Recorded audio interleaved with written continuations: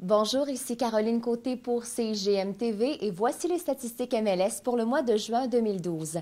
Selon les données du système MLS, le nombre de ventes conclues dans la région métropolitaine de recensement de Montréal, RMR, a augmenté de 1% par rapport à juin 2011 avec 3 496 transactions. Il s'agit d'une cinquième hausse mensuelle consécutive pour le marché de la revente. Montréal, qui est la seule région avec celle de Québec à avoir enregistré une hausse des ventes pour ce mois dans la province. Résultats pour les cinq grands secteurs de la RMR de Montréal sont tous très différents pour juin 2012.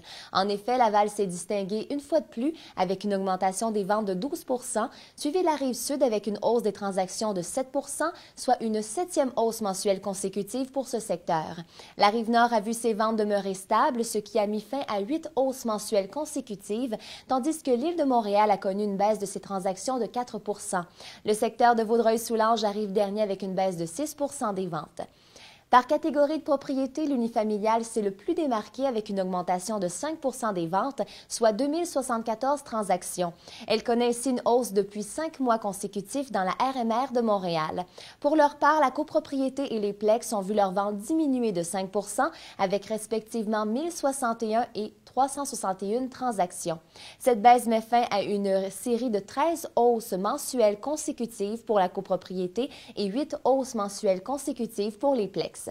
Au chapitre des prix médians, celui de l'unifamilial a connu une hausse de 2 pour atteindre 280 000 soit le rythme le plus modéré depuis le début de l'année, et celui de la copropriété a continué de grimper avec une augmentation de 4 et un prix médian de 232 500 Pour sa part, le résultat du Plex est demeuré stable à 410 000 les inscriptions en vigueur étaient en hausse de 9% en juin 2012 par rapport au même mois en 2011, avec un total de 25 844 propriétés résidentielles à vendre par un courtier immobilier, soit l'offre la plus généreuse pour ce mois depuis au moins huit ans. Pour plus d'informations sur les statistiques MLS de juin 2012, je vous invite à consulter le plus récent communiqué de presse disponible sur le site de la CIGM. C'était Caroline Côté pour CIGM TV. À très bientôt.